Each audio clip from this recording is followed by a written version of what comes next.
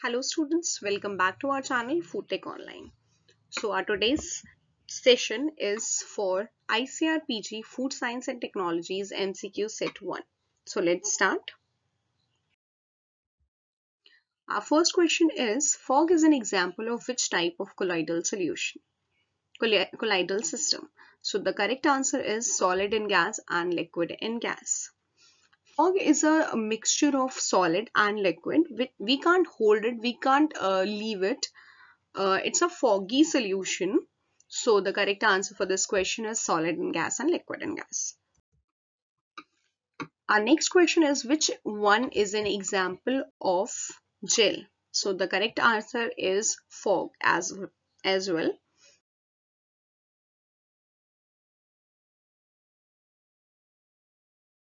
The next question is which of the following physical quantities of storage food can be tested?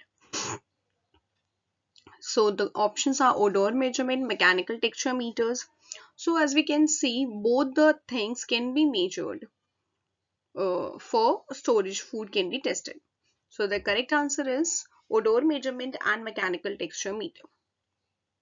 The next question is relationship between time and temperature to determine the stability of food product is obtained by using which of the following data? So the answer is all of the above.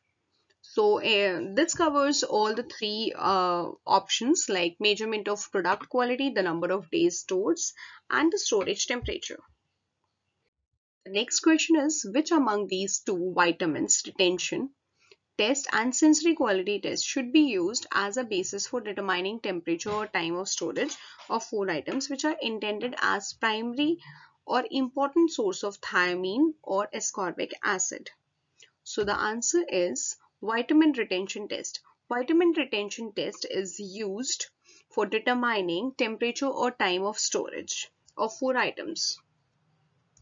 The next question is the outbreaks traced to foods from food processing plant are co contributed due to which of the following factors? So the answer for this question is also all of the above. Inadequate refrigeration preparing food items too far in advance and food items reinfected after final heat processing.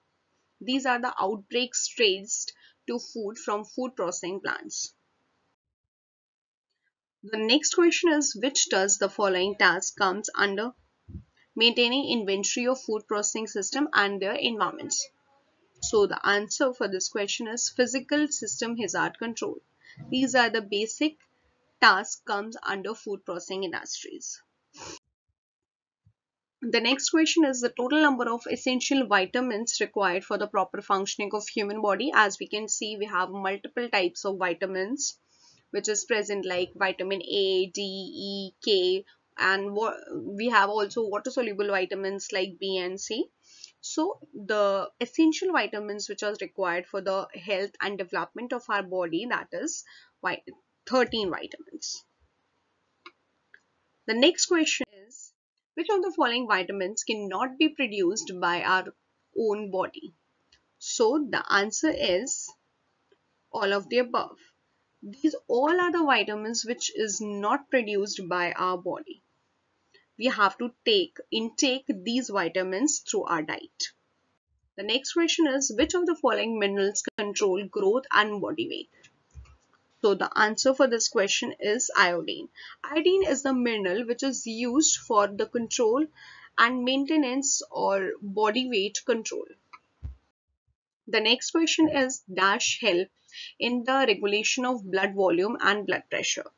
This question I think all of us knows because sodium helps us to regulate our blood pressures and volumes etc. The next question is which of the following are examples of macro minerals? Macro minerals are all of them sodium, calcium and chloride. All of them are the minerals macro minerals which are required which are uh, are the examples of uh, macro minerals. So the next question is excessive intake of calcium in our diet results in. So the correct answer is kidney stones.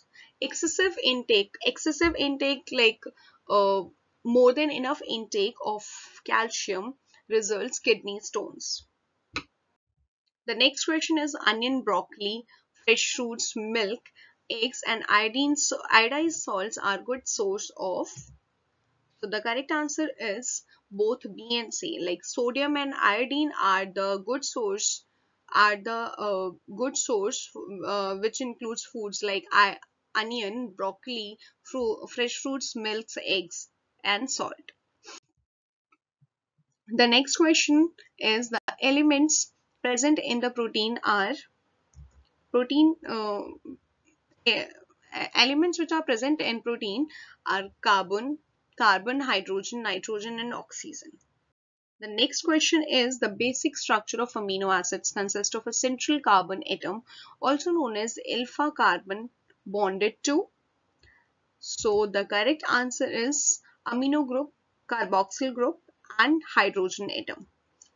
In, uh, this is the formation, this is this basic structure of amino acid consists of.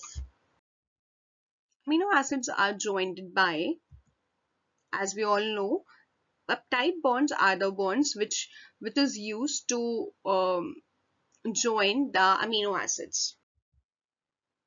The primary structure of protein presents is represents is linear sequence of amino acid joined by a peptide bond which is known as a protein like uh, multiple or uh, multiple number of amino acids are joined with the help of peptide bonds and this structure forms a linear structure of protein chain.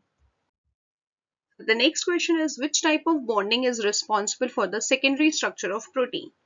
So the correct answer is hydrogen bonding between the carbon and oxygen bond and nitrogen hydrogen groups of peptide bonds. So uh, I think you all clear with this topic. The next question is which of the following most accurately describe how secondary structure in protein is stabilized? So the correct answer for this question is through hydrogen bonding join different parts of peptide backbones. The next question is which of the following groups of chemical is not a food nutrient? Chemical which is not a food nutrients. As we can see we have carbohydrate vitamins and proteins are the uh, nutrients of food which we intake in our diet but enzymes are not the food nutrients. The next question is most abundant protein is found in cytoplasm. In our cytoplasm most abundant uh, protein is found the next question is which proteins are called messenger proteins? So the answer is hormones. Hormonal proteins are the messenger proteins which works as a messenger in our body. So the next question is which of the following protein increases the rate of chemical reaction in the body? So the correct answer is enzymes. Enzymes are the substance which is used to increase or decrease the uh, rate of reaction in the body so the correct answer is enzymes. So the next and the last question for this session is which proteins are called transport protein? So the correct answer is hemoglobin is the protein which is used for transportation of proteins. For today's class, for um, further videos and exams, sub exams, you can follow our channel for more updates. On our app, which is linked which which uh, which link is in the description box. Thank you. Have a nice day